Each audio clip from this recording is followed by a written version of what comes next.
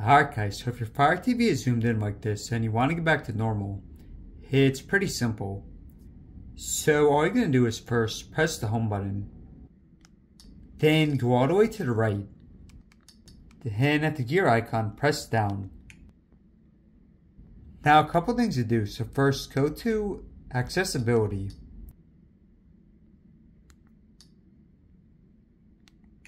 Then go to screen magnifier Select it, make sure it's turned off.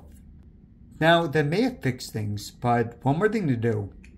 Just go back and go to Display and Sounds. Then go to Display. Go to Calibrate Display.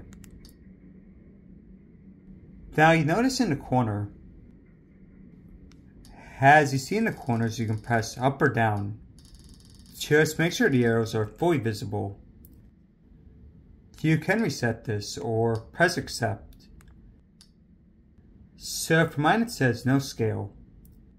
Alright guys, thanks for watching. Hope this helped out.